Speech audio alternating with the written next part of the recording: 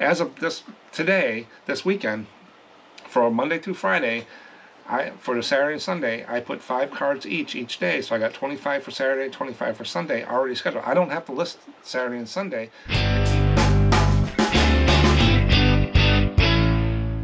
In today's video, we're going to go over four things. What sold, the special topic, the poll or data or something like that, and viewer comments. Now the what sold, I only have 10 cards sold to show you today, but my average sale price went up a little bit. I was pretty happy with what I got on some of these. And then the special topic is Mormon postcards. The full name is Church of Jesus Christ of Latter-day Saints, or they have an abbreviation of LDS. They're low, based out of Salt Lake City, Utah, with the big cathedral and the choir everybody knows. We're going to dive a little deeper into the history of the Mormons, where they came from, and what they're doing today. And got some tips from other resellers about what to look for in these cards. So when we hit the special topic after what sold, I'll get into that. And I'll show you some Mormon cards while I talk about it. Then I always try to put in a poll or some data that I'm doing. And the poll that I put out on Saturdays, they come out at 10 a.m. So make sure you subscribe so you can see these polls. But it's good information from other resellers, not just me. But this one was when mailing postcards do you? Do you put them in a mailbox? Do you go to the post office? I wanted to see what other resellers were doing. So I'm going to go over the stats for that. And I got some viewer uh, comments on that poll and what other people do. And then the viewer comments, there's about three or four comments that come in email or whatever. It gives the different opinions and I'll share mine. I like that section the best. But let's go ahead and get into the what sold. Again, I only had 10 cards sold, but I'll go through each one real quick and then I'll give you a total on how I did. So this card here is a real photo postcard that I got from that Nashville pickup. It's basically the title was Lady on Front Porch of Large House, RPPC.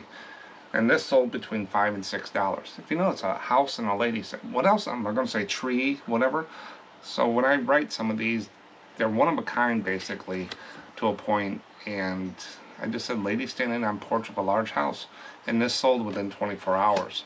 So five to six dollars wasn't much going on in that one. This is another real photo postcard. And RPPC stands for real photo postcard, not picture postcard. So you hear people when they speak it, they'll say real photo. When they write it, they say RPPC. I have a tendency to say RPPC both times, but that's the etiquette that I've read or heard about. Is if you speak it, it's real photo. If you write it, it's RPPC. So I miss, uh, screw that up all the time. But this is a naval ship, a photo postcard, and you'll see that sometimes on the back. But you got to be careful. Sometimes they might be, they'll take a newer card and glue it on the back of one of these and glue it back like this on there. So sometimes you want to be careful with that, but I don't see it that often, but it, it is out there where people redo these postcards and stuff. But this is the USS Yellowstone 80 something. But this was a real photo postcard of a Navy ship that I got. And this sold for $7.70. I think a gentleman asked me what this was and stuff. So I just sent him the definition of a real photo postcard. A couple days later, he bought it. So for 770 with a 10% offer probably sent to him, it worked out pretty well. Next one is another real photo postcard. Not our PPC. See, I'm doing better in this video. Our, a real photo, almost screwed it up there, real photo postcard of a guy and a horse. It's vertical going this way. There's the horse and there's a guy. And that's it. That's all it's in there, and that's basically what I put in the title. Now, if you look on the back of real photo postcards, you see this box. It's got A-Z-O, AZO, and it's got triangles in all four corners, and they're pointed up. And you're saying, well, what does that mean? Well, in my Ko-Fi store, I have where you can download for free how to read that stamp boxes for real photo postcards. You can actually date them to a certain era, kind of. And you can go there, and here's the link right down here, and just search for stamp box. You can print it out, but if you'd like to have a card like this sent to you, then it's just $1.50. I'll print one out, or I have some printed out. I'll just stick it in an envelope. The $1.50 pays for the stamp and the ink and everything like that. But you can download it for free. I use it all the time. So this one right here, it says AZO right there. AZO, AZO, four triangles pointed up, 1904 to 1918. So what I usually do when it says 1904 to 1918, I just put C for circa, circa 1915. It kind of puts it in the middle. So a lot of these real photo postcards I've been doing lately, I've been able to get it in the title, some kind of year, more than just man, horse, and I'll put circa 1915. If I see it. Now there is some paper, Cyko paper, um, different things like that you can get into, but that's the easiest thing I found. So check out the Ko-Fi, go out and print that out or order a card and I'll send it to you. There's also an era card too that gives you the eras and that's what that is right there. And I have them in a rigid holder so I can just flip it around it's right next to me because I always forget what the dates are. So that one sold for 865 the guy on the horse. Next one is from the Hawaii cards and this sold for seven dollars. This is some kind of card. It's called a original serigraph, handmade serigraph. I think it goes this way. So that was a wine card. It's a linen card and it sold for seven dollars. I put up like 800 Hawaii cards lately because I got them in a big batch and I just wanted to push them out and I think I started them at 565 and above because Hawaii does sell. Next one is an Indian. I got a bunch of Native American. This is the Pueblo Indian. He's a outside his dweller in the village. And this is a Fred Harvey card. You can see that right there. It says Fred Harvey. He was a uh, designer out there. I'm going to be doing a video on some of the artists, and Fred Harvey's one of them I got queued up for this year. Hopefully, I can get more information. I'm not a real artist sign guy.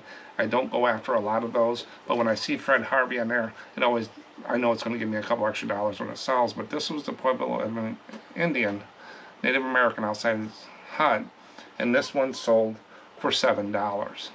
So they do give me a little extra money. They might sit a little bit, but they do uh, go. Next one is Flamingo Orange Groves and Botanic Gardens in Fort Lauderdale, Florida. They're picking oranges. They got sacks. Right there, sack of oranges. This was posted in 1966. Just a chrome card. Sold for 465 Here's another Native American. These are just the chrome cards of a maiden and a daughter. And this was Navajo Mother and Child. That sold for 465 unposted.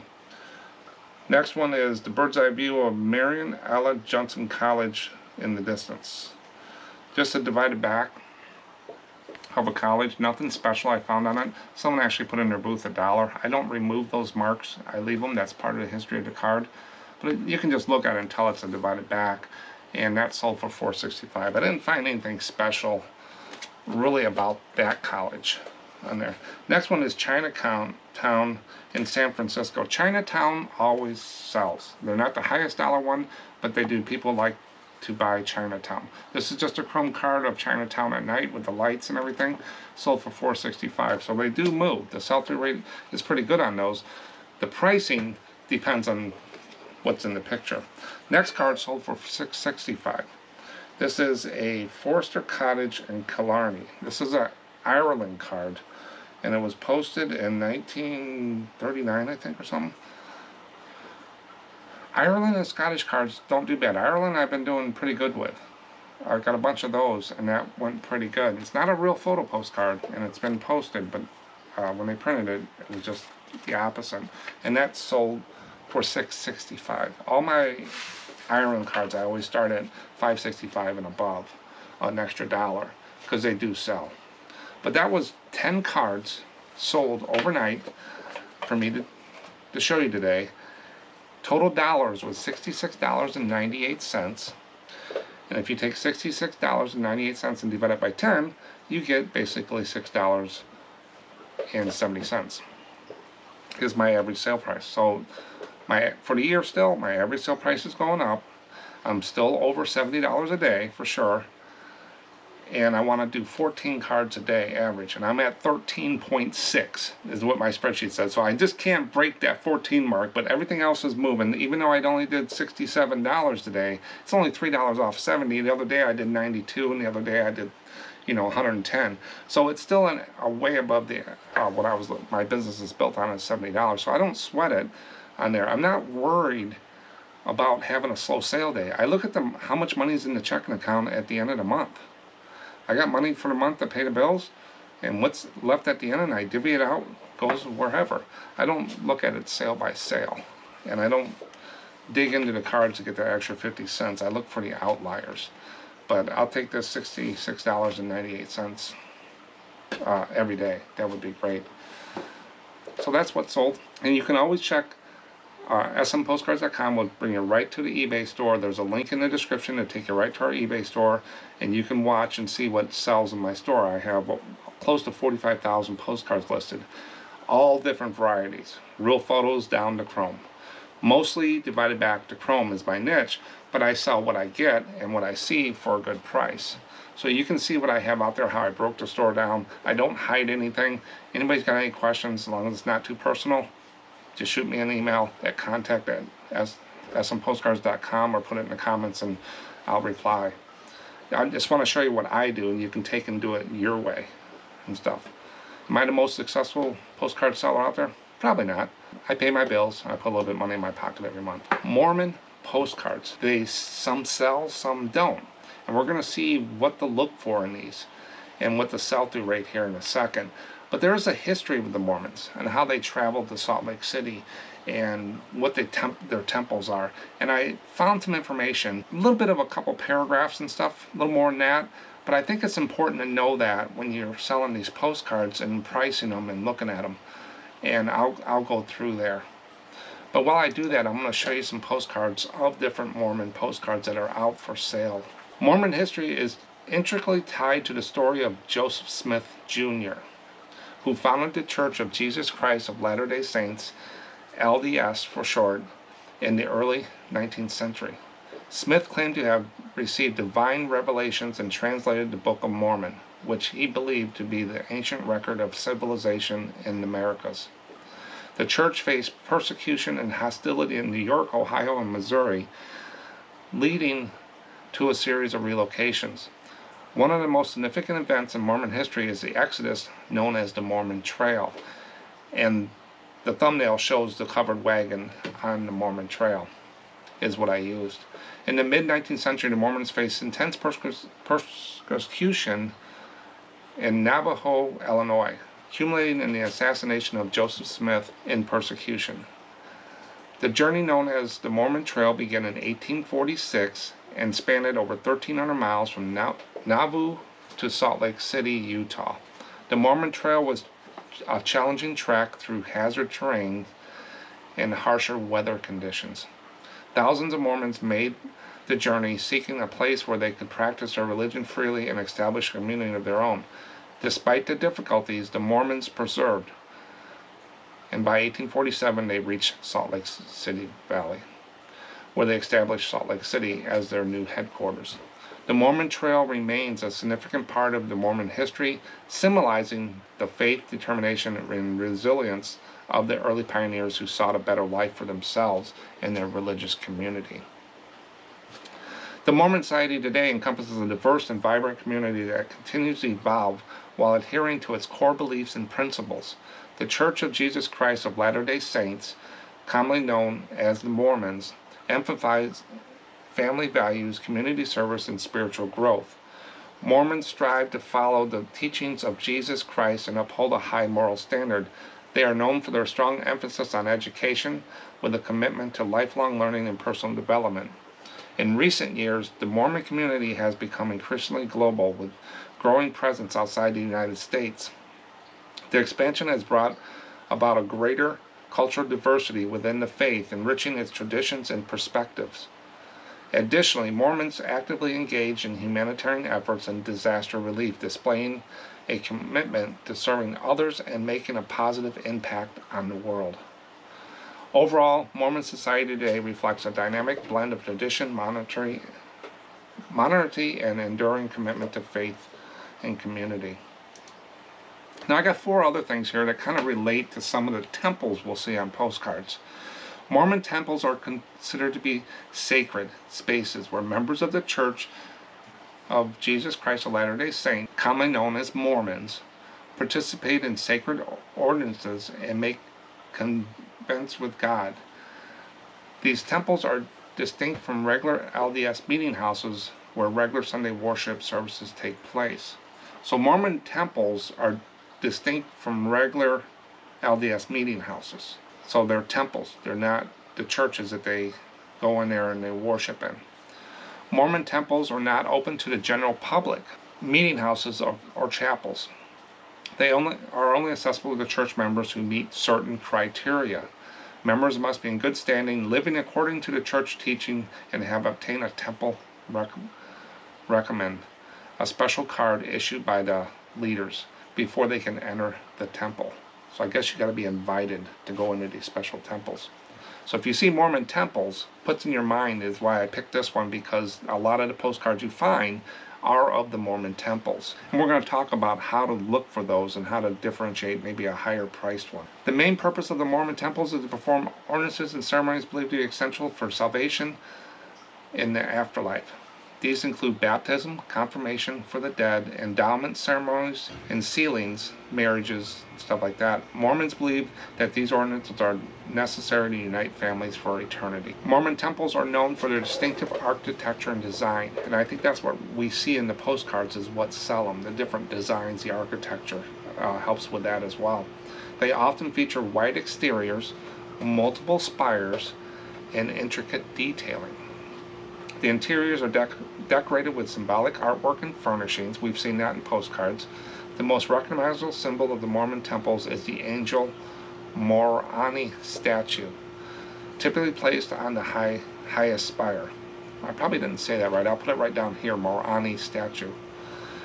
These architectural elements and symbols hold deep spiritual significance for the church members and serve as reminders of their beliefs. Now, one of the biggest cards you're going to see, if you've been doing postcards, you probably sold it or seen it, is the Mormon Tabernacle Choir. Different views of it. It's the arch thing, and you can you can just tell when you see it on TV or you see it in a picture, you know it's the Tabernacle Choir. So they've done very well in marketing that. So the Mormon Tabernacle Choir, officially known as the Tabernacle Choir at Temple Square, and Temple Square is the big cathedral in Salt Lake City is one of the most renowned and oldest choirs in the United States. It was formed in 1847 and is affiliated with the Church of Jesus Christ of Latter day Saints. Now, one of the things about Salt Lake City just came to mind when I drove through. I did some work in Salt Lake City for AOL on their phone systems back in the day, American Online. Did some uh, phone upgrades and stuff over, and they were based out of Seattle, I believe. And we were in Salt Lake City for another service call the streets, they said, are very wide because they want to be able to turn a horse and wagon around in the street. So they didn't want to go down a corner like we do and do a U-turn. They want to be able to turn them right in the street, is what one of the people, the locals told me, which was pretty interesting how they designed it. The choir is composed, the Tabernacle Choir again, the choir is composed of approximately 360 volunteer singers who come from a variety of backgrounds and professions. These singers are not professional musicians, but rather individuals, individuals who dedicate their time and talents to be part of the choir. Members of the choir serve for a specific period, usually about four to five years. So that was a lot of information about Mormons, but we talked about temples, their religious places, their history on the Mormon Trail, where they're located, and stuff like that, and also the choir. And we're going to see how fast these postcards sell. How many postcards move through the eBay system. And some and I got some higher priced ones here, so stick with me. And as you saw those other cards go through, a lot of those are common cards that you'll see out there, but there's a couple in there that were a little bit harder to find, not a lot of them listed. But I went out there and I did the query and in eBay and I cleaned it up. Basically it's postcard space Mormon anything with Mormon in the title, and that's what you're going to see in most of the postcards. You're not going to see LDS, Latter Day, Latter Saints, and stuff like that. You're going to see Mormon, is what most people I noticed put in the postcards. There was 295 sold and 5,900 listed with postcards-based Mormon in the title. You times it by 100, it gives you a 5% sell-through rate. Now 5% falls in the 4 to 5 range, which is the average we've been seeing through my videos and on my paper that I have out there on Ko-Fi is four to five is an average card. So it's not a real low one and it's not a real high one, but there is a couple that I found sold for pretty good money. But let me bounce up against some of these other postcards. So the Mormon is at 5%, postcard church is at 5%. So church and Mormon doesn't really matter about the religion. It's 5%. Then the Amish I threw in there because it's a different type of religion, different type of beliefs. They're at 4%. And then I just put in Salt Lake City. I see that on a lot of cards. So I wanted to capture that 3%. So just the city law, Salt Lake City is only 3 and Mormons are 5. So th there is a distinction, a 2% difference with cards moving through. But with a 5% sell-through rate, would I pass up Mormon cards? They're probably not the first ones I would pick up in a box. If I see a lot of Mormon cards in a box of postcards I was going to buy, I'm going to pay below average price for it because I know they're going to sit. 5% sell, 4 to 5% sell through rate is going to give you your average time to sell postcards are not fast, fast movers. So I wouldn't pay up for them because you're going to sit on your money if you see the, a lot of those in a, in a collection. That's what sell-through rate does for me. When I'm going through a box of white box of cards or a shoe box, I can go through real quick and say, okay, 40, 50% of these are pretty, are above average cards moving. I'm, I'll give you $110. A lot of these are average and below. I'll give you $50 because I know I'm going to sit on the money. And some and probably 40% 30% of the box I'm not going to do anything with. So why pay for them just to have inventory? You don't want to get into a point of buying a box of postcards just to have something to list. You want to start looking at the sell-through rates and get better stuff that people want. Because you can put a box of a thousand postcards up with an average or below sell-through rate and you're not going to get your money back but if you took your time and spent a couple more time looking for better cards, paying up just a little bit, you're going to turn that money and stuff faster. But you need a mix of variety of things. So you might want to mix in some of those average and a little below average cards in here and there, but you want to have some better sell-through rate cards. Up in the 9, 10, 12% range to, to keep the cash flow moving as well while you're waiting for these other cards to sell.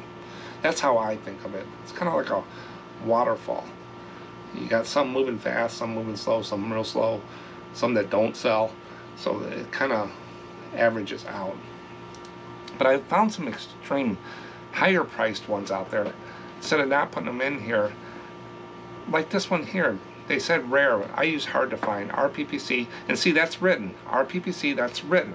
It's not doesn't say real photo. That when you speak, they said real photo. When you write it, it's RPPC. So they wrote it. They're, so they're doing better than me. So rare RPPC of the Mormon LDS. There's your LDS church. And when I did one query, eBay actually knew LDS was Mormon. It's kind of like Coke and Coca-Cola. They kind of knew that. So anybody out there trying to fight the algorithm, it seemed like LDS picked up as well. The key to this is, it's not in Salt Lake City. This is a church, not a temple, Mormon church, and it's in Idaho. Daniel said something in a comment about Mormon churches to look outside of Salt Lake City. Instead of just looking in Salt Lake City for Mormon churches, the ones outside sometimes do better. And this reinforces what his tip was. And Daniel's from Malezium, so check out that channel. He does some different things with postcards, and he looks at the higher end postcards. He does pretty good in sales, and he gives a lot of tips on what he looks for. But $179.17 had seven bids for this real photo postcard. That's not a bad deal right there. So some of these real photo Mormon ones you want to take your time with them and get what you can out of them. Then the next one is Price, Utah, bird's eye view in the distance of Mormon houses. This is maybe like a village or something of Mormons, a congregate, a community. 145.50 with 16 bids. And these just sold April and May of this year. And then you got Tremont, Utah Main Street Parade, Mormon LDS, a Mormon Parade, $84. So if you get a real photo of Mormon cards or LDS, Latter day Saints, I would do some digging and price it up and maybe all the, let's see, two of these were auctions, went for average 150, then the other one was a buy it now for 84. My eyes are caught on real photo Mormon postcards if I see them. But then we get back to earth, our average cards that we see every day in boxes and stuff like that. So here's three that sold high. This one's Oakland, California. It's a, a temple in California. Remember, that's outside of Salt Lake City. 1149. Then here's another one in Montana. $12. Then another one here. This is the great organ in the cathedral in Salt Lake City. Sold for 13. Average, you know, 8 to $15 is the high mark, I think. And but then you got your people doing the low. You got one for a dollar twenty-five. Here's the organ that we just saw throw for thirteen for ninety-nine cents. So it doesn't make sense for ninety-nine cents. Kind of rhymes. Then you got the. Here's one of a winner of two uh, two twenty-five. So here's your lower cards and there's your higher the higher ones. So the higher ones are averaging eight to twelve. The lower ones, ninety-nine cents. It's a dollar fifty. And we just saw one of them on there. Let's see what these people are listing some of these cards for. This one here is the Mormon Tabernacle organ. We just saw the organ sold for $12, and there's one out there for like 99 cents, and this one's for 34. Someone needs to look at their homework because they're wanting to compete with the lower and higher ones. I would probably put that card about 865 and then it'll go. It's not a real photo postcard, it looks to me. And it looks like it's got a bag, it's one of those with the bag of salt. You'll see that too, the Salt Lake City one they have this little bag on the side. Sometimes it has the salt in it, sometimes not. Don't put those through the scanner, they're not going to go. The scanners don't like those. It's going to be too thick, or if the bag is empty, it's, it's going to say, I'll probably jam up on you. So always take a picture like this guy did with those. They don't give me any. I usually toss them uh, in the flea market bucket. I, I haven't been seeing anything special for these novelty ad. It's an add-on postcard. What, what it is. You'll see some dirt from a gold mine on some of them and stuff like that. But I don't see anything extra value in some of these add-ons. Uh, salt bag, $34 just because it has the bag problem. Then you got the, here's the organ again, card that we saw that sold on the other page. And what did that sell for? That sold for 12 $13 and they got it for $40. And here's a large letter of Salt Lake City. Now this one, it depends. I'd have to look in the book and do a little research. Most large letters like this go from 5 to $12, 5 to $8. This one, I think might be up in the $8 range, if I remember right. So $34 is really nothing special with this large letter that I would see. So if they wanted to sell and move on there, you could get that one impulse buyer, but why wait? Move the card and buy something else. So the average thing we're listing is $35, 30 to $35. I think it's a little high for some of these cards. And then here's the same card that they got up for $34 before with the organ and it doesn't have the salt packet it looks like $1.15 so you, someone put up for 34 and there's a dollar 14 and we saw an organ sell for 13 where would you put that card I would not even look at the dollar 15 I wouldn't even look at the 34 I'd probably stick with 865 to $12 if I wanted to move. Then you got a dollar 75 and another one dollar 75 would acquire so people are just all over the board with prices. So figure out what you need, what you bought it for. You got to buy them right. What it costs you to put it in the envelope, what it costs for your time, what it costs for everything you need to pay for, and that's your bottom that you can sell postcards for. If you bought these cards for three, four dollars a piece, you're not going to probably make a lot of money. If you bought them for a nickel, the 25 cents, there might be a little bit of room there for you on a four to six dollar card. You got to just got to sell a lot of them. So a lot of these are average cards, but your real photo cards, and you're harder to find ones, I would take a second look on those. That's Mormon LDS Latter-day Saint postcards. Remember, if it's not in Salt Lake City, they might get a little bit more money. Real photos do better than the average. And make sure you do your homework on pricing.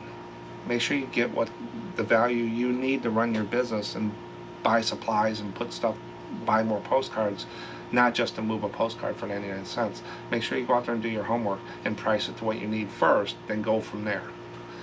And if it's not worth post listing, put it to the side and lot up, you know, do a lot of 25 Mormon cards. Sometimes those will do better for you. So if you just got one card and it's not selling high, put it to the side in your Mormon stack. And when you get 25, 50 cards, lot them up. People will do, buy those sometimes better than single cards. I don't do that. I just put them in the flea market bucket and take them to a guy that I know I'll move them. Because I don't have hardly anything in these cards that I buy. But who knew? Every Saturday, between 9 and 10, around that time, Central Time, you'll see a poll, and I got them scheduled throughout the year of different questions I just want to find out. Some people send me some questions, I put them out there. So if you got anything you want me to do a poll on, or just a question I can't answer, and you want to see what other people do, let me know. I'll slide it in uh, under. Just send it to contact at smpostcards.com and put Mark poll. Sometimes I take them, sometimes I don't. It just depends if I've done them already or if it's relevant to what we're doing on there. So take a chance. Send me a question. But this poll I did because I hear watching YouTube and talking to other people what they do. They go to the post office, they always get their receipts, they put it in the mailbox, they have a pickup, they pay to have UPS or someone come and pick up their stuff. So I wanted to see what most postcard resellers do, and then I'll tell you what I do. So when mailing post uh, sold postcards, do you was the poll. One, put it in your mailbox and put the flag up. Bring it to the post office. Drop it in the post office blue box, those post office boxes on the corners or by the post office. Or what else in your residential mailbox with the flag up was 33%. 42% bring it to the post office. That's the highest one. 14% just drop it in the blue box. And 10% do other. We'll get some comments here. So most people bring it to the post office. What do I do? It's a mixture, but majority is I put it in the mailbox with the flag up and my post carrier picks it up every day, Monday through Saturday. And I also have a P.O. box at my village post office. That's where all my returns, anything for the business, goes to that P.O. box. I want to check that box two, three times a week for any returns, envelopes that say they weren't forwarded. People send me stuff, and I do correspondence through there. So I want to check that every once in a while. I don't trust the little emails you get that something's coming in. Sometimes they miss a letter or something like that. But anything gets delivered to my business goes to that P.O. box. Some people also pay a service to come pick up their I think Grubhub and some other things, or I don't know, DoorDash or something, will pick up your packages and stuff like that. I heard. I, I don't listen to that too often because I'll never, I'll never do that here. But I always try to swing by the post office. You know, I'm retired. I have none but time. Some people don't have that, but I try to get out as much as possible on there, and I don't work hard not to get my packages out, not to go to post. If I don't get my shipping done before my post carrier comes, I just know I'm going to go over to the post. There's a 10 minute ride that way. 10 minutes there, 10 minutes back, I'll stop at the store or get some gas or do something on the way or just. But another thing is, a lot of people say, what, before I get into the comments on here, a lot of people ask me why I sell postcards and not other stuff anymore. I used to sell a lot of toys, a lot of different hard goods and stuff. And I had a special van from the post office to pick up my packages because it was too much for the local carrier. And they didn't mind doing that. They'd rather have it come, they can put it in the dock and pick it up. A lot of times in the summer when it wasn't real busy, Dana could get that into her truck. But a lot of times they would have a lot of boxes to pick up. But here's two pictures. So here, first one here, I'll put it on the big screen. That's about four or five hundred dollars worth of postcards and a couple little ephemera things, paper things that I sold sitting right there on the ledge of my door. Four to five hundred. Here's what it looked like when I had four to five hundred of the other stuff I used to sell. Sitting on my porch waiting for the van. What would you rather? That's one of the things why I do postcards, is because the one on the left, that's bringing in, you know, 50 to 60% profit, maybe more on the paper, and those other ones out there you're talking 40 45% maybe because I bought from distributors or paid up. I got supplies I got time. Took a lot more time to pack those and materials and to put them on the porch and stuff like that. So why not do postcards? Look at that. It's just sitting there.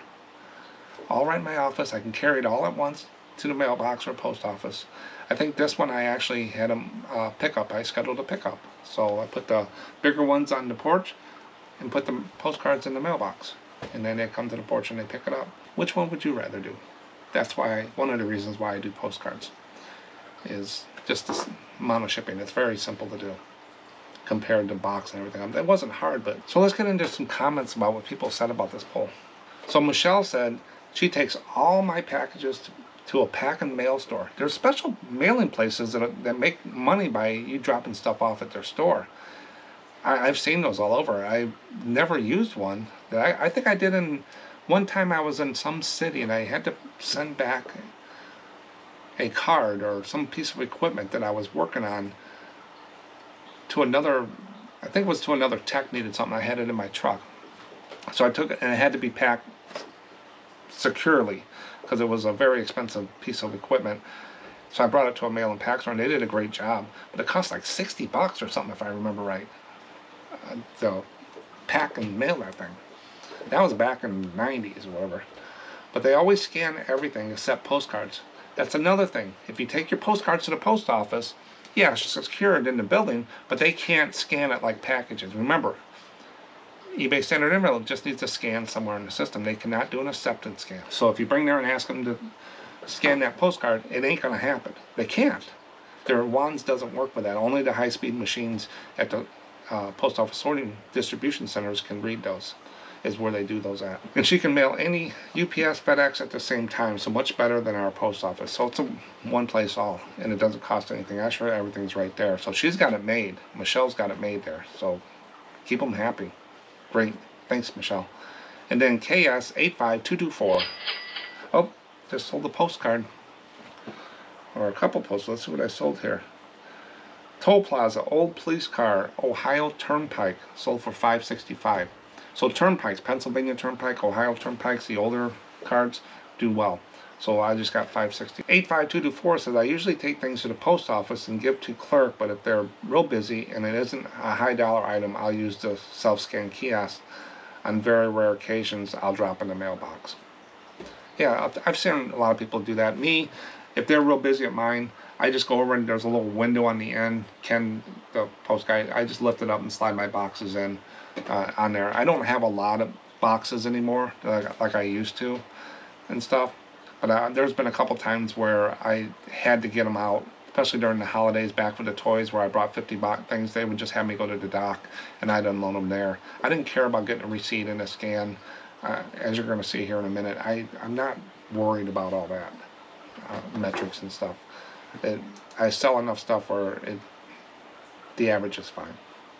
But thanks, uh, 85224. Then Adam from Pittsburgh Pickers, they have a YouTube channel. They sell postcards, ephemera, a lot of photos. all A whole bunch of different things are located in Pittsburgh.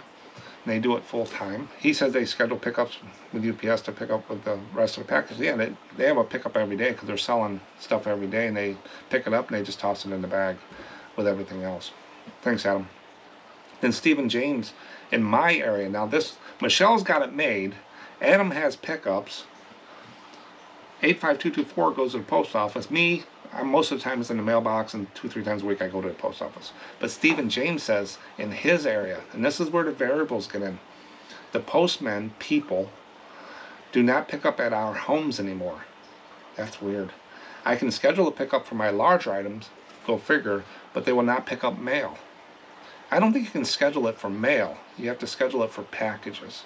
So maybe Am I thinking something there? Because a postcard, you can't schedule. You just put it in the mailbox with the flag up, and that's how you do letters. Which makes it kind of hard on my 83-year-old mother-in-law. Also, I can't just walk down the street to a blue box because in my neighborhood they took them out because of the idiot kids dumping liquids in them and ruining the mail. Yeah, they. I don't see them that often. They're, they're by the post office here, but I don't see them on the corners around our village as we used to. Apparently, it had happened quite a bit, but yeah, so I have no choice but post office drop off. Sounds right, but I think, yeah, I don't think you can schedule for letters if I'm reading this right. Packages you, can schedule. Before, when they first started scheduling stuff at home, you couldn't do first class, but everything's added now except letters. Is you just put it in there and put the flag up uh, when they deliver your mail. But I, I, so that's one extreme is he's got different issues there. Some places, like the next one, Joe, uh, thanks Steve, Stephen. I live in a rural town with no home delivery, so we have to go to the PO to pick up our mail. So that's another thing. They have to go to the post office because they don't have delivery. When I had my restaurant in a small town, about 15 minutes northeast of here, they didn't deliver mail to my restaurant. I had a P.O. box at the local post office, and it was only maybe a block away. So I would walk every morning and go over and get my mail, mail out anything, and then I would stop by the butcher and pick up the meat for the day for lunch, like pork chops or whatever. He was a meat cutter, and I always got fresh meat from him, and I would pay him weekly on whatever I got. So it worked out really well. But we had to go to the P.O. box in a small town and everybody did. Like it was like go get your mail and come to my restaurant and have coffee because I was basically the only restaurant in town. A town of a thousand, twelve hundred people, where my wife grew up. But yeah, so some places you don't have an option. Some places they have to drive 15, 20 minutes to get to a post office. So you got to add that into your cost, your business. So if you're selling socks for five dollars like everybody else, you might have to try to sell them for seven, or don't sell socks. You got to sell them higher stuff because you got that other expensive gas and time. Thanks, Joe. And then Brian says the flag goes up real easy on my mailbox. Yeah, I love it. I just go out and put it in there. Like once I get done with this, these cards here, I'll just drop them in there, and it's no problem with that. So, but what's today? Yeah, today I won't be going to the PO. I have some other things going on.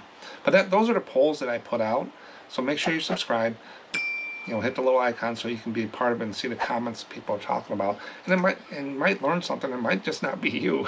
Everybody's having the same problem on there, but thanks for participating. I and when you do participate in there, if you don't put a comment, I have no idea what you clicked. But if you put a comment, it does put your name on there. But if you do any selections, uh, just vote. It's anonymous. I don't see anything in the back end except the number go up or down. Now we're going to get into viewer comments. Viewer comments come from emails, YouTube, or just people saying something. I'll, I'll capture them. I can't put every one that I get out here. It just get too it'd be too much. I try to respond to everybody. If I have not gotten back to you on a question, send it again. Hopefully it doesn't get caught up in, in, the spam filters or anything, but most of the time I catch them. I haven't had anybody come back yet, so I haven't responded. Got three comments to go through here. The first one is from Sewing in the Mountains. Sewing in the Mountains.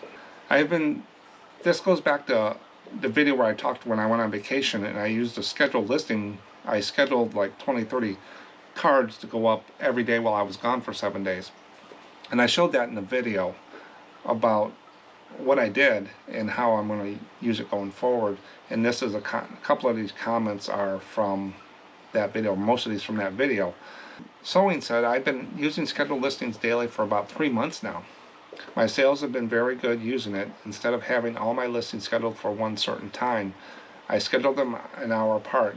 Yes, it's an extra step, but this means that instead of my store listings being seen at one time, my store is seen throughout the day with the newest listings on eBay. I hope that makes sense. Yeah, I thought about that. I've seen some other people create a spreadsheet and they'll put five here, five this hour, five this hour, five. I don't know what it does. I'm not, but it doesn't help. I it's helping you. It might help someone else. I, I don't know. I couldn't answer that. But scheduling listings used to be 10 cents a listing. You had to pay for it. Now you can schedule your listings whenever for free. There's no charge anymore. So when I, a lot of people used to go on vacation, they would schedule 20 drafts for this day. You know, they put 200 drafts in there and then they'd log in while on vacation and kick off those drafts and uh, list them. Now you can just schedule them for the days you're gone and don't have to log in. Work great. It works fine. I haven't had an issue. And how I'm using it going forward and as of this today, this weekend, for Monday through Friday, I for the Saturday and Sunday, I put five cards each each day. So I got 25 for Saturday, 25 for Sunday already scheduled. I don't have to list Saturday and Sunday to keep active because I like to put up cards every day. I'm not a big algorithm fighter and stuff like that. I, they're not my competition. I just did it because I like to put more into the store.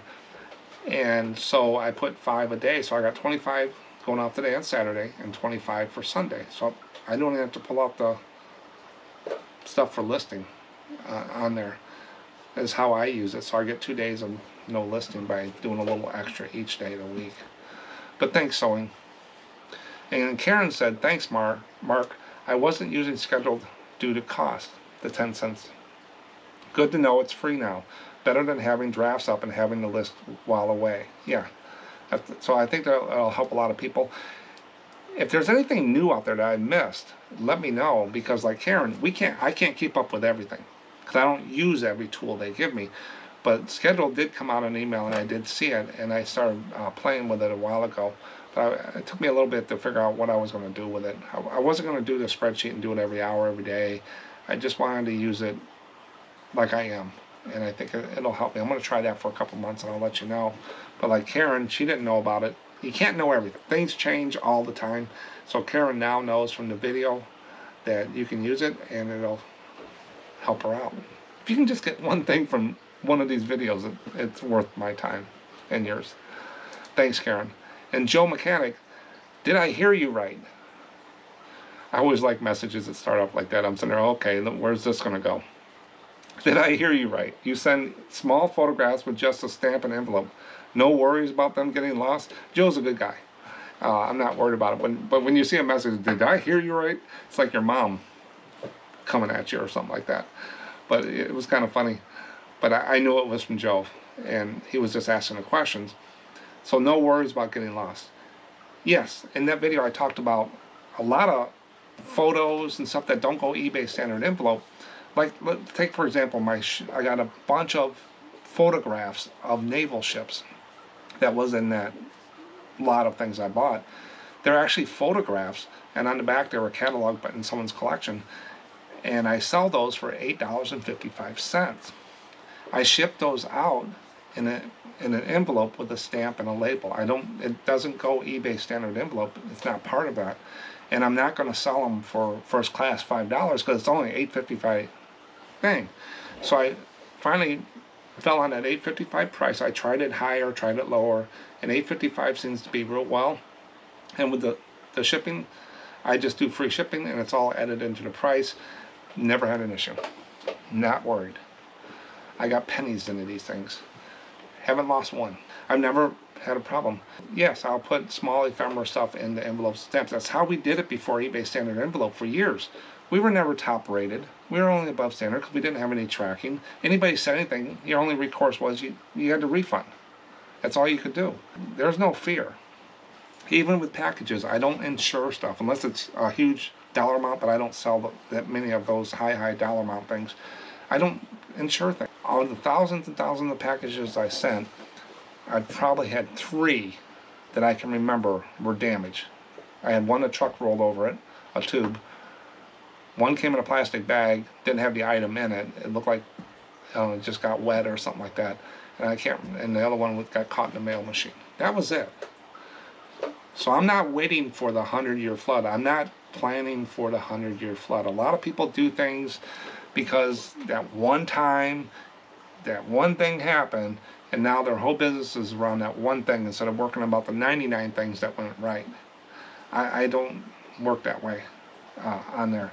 So no, I don't have any fear of doing that, of getting things lost. If they pay, I ship. I don't fear about the scammers. I don't feel about all this other stuff. I, it's not in my control. I had a lady couple weeks ago buy $150, $200 worth of postcards. She paid. I shipped. I wasn't worried about on there. There is a concern sometimes that you just think, okay, what's going on here? That's a bigger than order. They pay, I ship. And it gets out there, and she came back and bought another $150, 200 dollars worth of postcards. So you never know. But Joe did come back and says, great. I told him what I just said here. He says, great to hear. I got a bunch of ephemera, some photographs I'd like to sell. I'll give it a try. In so many words like that. So put them in the comments and I can let you know what I do and what I've learned. But I, I never have a fear about losing metrics. I've lost top rated a couple times, but they gave me a grace period for 30 days because I do that. I'm always running real close to the 95% of tracking updated on time. If you just miss one, while I was on vacation, I sold 71 postcards, and one of them says I was overdue. Am I worried? Not at all. One out of 71 is not going to change my store. It's not going to tank you. Being top rated is not going to give you that much over someone that's not sometimes. It didn't have it for years. It still sold postcards when I was above standard. Ne never uh, make decisions on the 100 year flood, is what I always say. That's all I got today. Thanks for watching, and here's some fish to watch. I'll catch you next one. Bye.